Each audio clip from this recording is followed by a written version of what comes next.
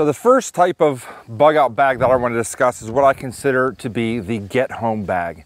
Now this is going to be something that you carry in the trunk of your car or in the back of your vehicle. And this is just enough, the bare essentials to get you from your place of employment back home so you can gear up and get ready to bug out.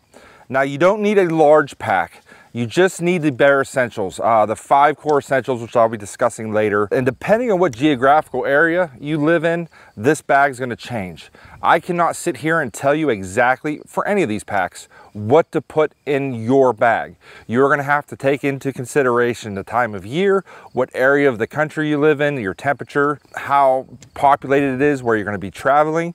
You need to take all these things into consideration. So I'm gonna give you the basics and then you are gonna take those basics and change it to your area. The other small size bug out bag you'll carry is what I call an assault pack. My personal assault bag today is a Condor Fuel Hydration Pack. Again, you want this to be lean and mean and compact as possible and not to interfere with your weapon loadout or plate carrier. This pack will primarily be used to carry your survival essentials, a single MRE, and extra magazines of ammo. You'll be using this pack once you get to your retreat or you're in your safe area. This is the pack you will take with you if you need to leave the retreat to go out hunting, gather firewood, set an ambush, or while walking a patrol on your property. It'll also provide enough supplies to get you by if you get stranded out for a day or two away from home. Next comes your actual three or four day bug out bag. In previous years, my bug out bag resembled more of a lone wolf pack and it wasn't until after a backpacking trip where I realized there was no reason to carry half the crap I was carrying to my retreat. Over the course of three days in the forest, I hadn't used half the items I had brought with me.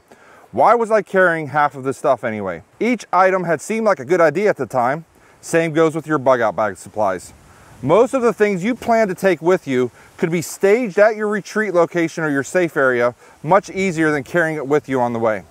Why would you want to burden yourself with a 70 pound pack when you could just as easily reach your destination while keeping your bug out bag to under 30 pounds? There is no need to carry a radio on you as you can easily go three days without finding out what's going on in the outside world. Same with snares and snaring wire. You don't need soap. You don't need toothpaste or a change of clothes. You might get a little funky, but who hasn't gone three days without a shower before? Why carry the extra weight? Your priority is reaching your bug out location as quickly as possible. On and on, I went pulling items out of my pack until I realized I'm going to need to buy an actual smaller pack now as well. This is going to be very stressful time for you and your family. You can't really make it an enjoyable trip but you can make it suck a whole lot less by carrying half the weight. The Lone Wolf Pack is the largest of the four and totally dependent on your particular circumstances and the geographical area you'll be bugging out into. I am staunchly against the Lone Wolf approach as a bug out strategy. But once you are at your retreat location or your safe location, you need to put together a lone wolf type of pack just in case you get overrun or need to flee at a moment's notice. This is a very tough pack to nail down as there are so many things that you're going to need to live off the land until you can find a safe environment to move back to. When I was in my early 20s, I regularly carried over 100 pounds in a Kelty pack during my SERE days in Washington State. Today I wouldn't make two miles with a pack like that. You need to pack your lone wolf bag with as much gear as possible, yet still remain mobile. One other thing to consider when looking for a bug out bag is how you're going to carry your spare magazines for your battle rifle. I personally am a big fan of wearing a battle belt. This is a system that you can use for years. Uh, you can carry it with you when you go out to farm. You can carry it with you when you go out on patrol and you don't have to, to always be wearing a vest. The other problem with wearing a quote tactical vest with a pack is the fact that you're going to have two sets of shoulder straps going over top each other and that's going to get uncomfortable on a long journey. Typically, when looking for a pack for your body type, you're gonna to want to look for a pack that obviously rests on your shoulders and the bottom part rests around your tailbone area. If you're gonna be wearing a battle belt, you're gonna need to find a pack that's shorter on your body where it can ride above your battle belt. You also want to make sure that the belly band of the pack does not interfere with your draw stroke when you're drawing. These are my personal recommendations for the various bug out bags. For a get home bag, you do not need anything large.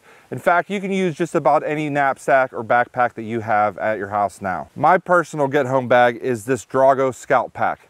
This is also going to act as my spouse's bug out bag once we leave. The assault bag is something that you're going to be carrying a lot of once you reach your retreat. While on patrol, taking it with you when you go out to farm, you want to make sure this is lightweight, lean, and mean. I recommend the Condor Fuel Hydration Pack or a CamelBak Mule for this purpose. I like the The Condor pack because it has MOLLE webbing on the front and I can attach extra magazines. For your three or four day bug out bag, which you're gonna be carrying with you to your retreat, I recommend the Drago Assault Bag. It's got MOLLE webbing all over it. You can put all kinds of attachments. I've got magazine pouches, pistol magazine pouches, my first aid kit, my canteen holder, my bolt knife, all mounted to the MOLLE webbing on the outside of the pack. It is very compact. It carries the load very well. This you can pick up for about $60 on Amazon if money is no option, then I highly recommend this Eberlestock Little Brother Pack. Eberlestock is pretty much considered the gold standard in tactical bags and bug out bags today.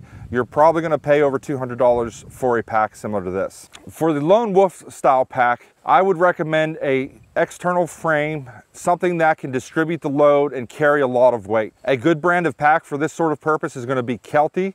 The only problem with Kelty packs is the fact that it's hard to find them in earth tone colors. They're typically your bright blues and reds. My personal recommendation for a Lone Wolf style pack would be the Alps Commander. You can find it for just over $100 online. It is an external frame pack, comes in a, a tan type color. If you're working on a budget, then I would recommend picking up an ALICE pack in the large size, and that'll carry a lot of gear as well.